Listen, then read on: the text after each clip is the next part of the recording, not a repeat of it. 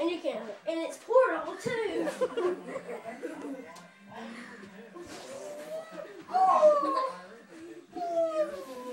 and it's flippable too. and it can unravel real easily. Boom!